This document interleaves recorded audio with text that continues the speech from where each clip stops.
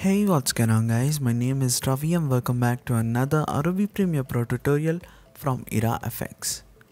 So in this video we'll be learning to attach a screen onto a television and we'll be doing that in a very simple way. So I already have a video in my project. Let me right click on this and click on new sequence from clip so that a sequence is created with that video settings. And let me play this for you. There's this video and we would like to add a screen or a video onto the top of this TV. To do that, I already have an overlay that I want to add. I'll drag this onto the top of my video. Let me adjust this. You can actually scale this video down and change the position and rotation in order to fit it onto the TV. But you have an effect called corner pin. So I'll go to the effects panel and type in corner pin and I'll drag this corner pin effect onto my topmost video. And now if I click on this corner pin effect you can see that we have four points around the corner. So I'll drag this and adjust it exactly for four different corners of our TV screen. Alright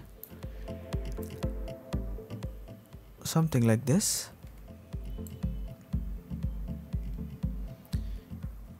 let me zoom in a bit and start adjusting.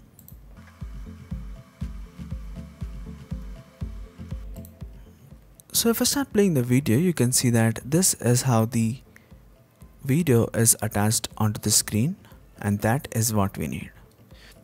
As this is a stable tripod shot, there is no need of any keyframing and adjusting the video but in case if the video is moving a bit you can click on this timer button here for each one of the property and then start keyframing.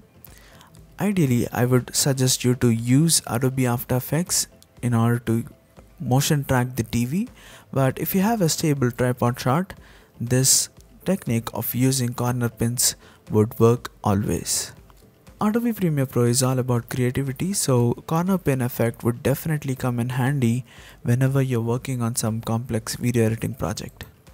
I hope you found this video helpful and if that's the case give us a thumbs up and see you guys next time with another tutorial.